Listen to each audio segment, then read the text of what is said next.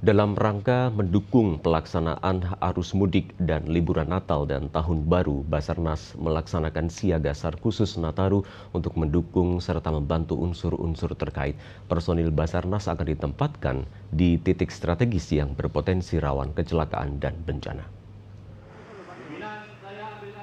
Kesiapan Basarnas dalam mendukung pelaksanaan arus mudik dan libur Natal dan Tahun Baru Nataru 2023 ini ditandai dengan gelar apel siaga Nataru yang bertempat di lapangan kantor Basarnas Yogyakarta. Kepala kantor Basarnas Yogyakarta Kamal Reswandi yang membacakan sambutan Kepala Basarnas Pusat menyatakan, dalam rangka meningkatkan kesiapsiagaan selama libur Nataru, Basarnas turut mendukung unsur-unsur terkait dengan menempatkan personel di lokasi-lokasi strategis seperti di pelabuhan laut, ruas jalan tol, bandara, terminal bus, dan tempat wisata. Basarnas siap menghadapi beberapa potensi ancaman bencana dan kecelakaan yang dapat membahayakan keselamatan warga masyarakat seperti bencana hidrometeorologi, bencana geologi, serta kecelakaan transportasi.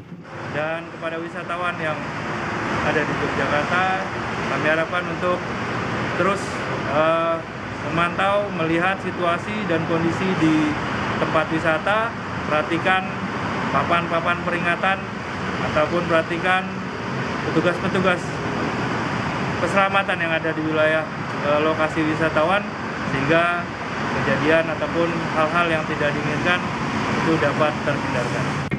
Selama masa Nataru, Basarnas menempatkan petugas siaga di posko induk kantor Basarnas Yogyakarta di Jalan Yogyawates, Dayu Bantul, posko SAR gabungan siaga SAR khusus di perempatan Gamping Sleman, tim patroli mobil di Parang Tritis, dan tim khusus di sejumlah objek wisata seperti di Pantai Selatan DIY.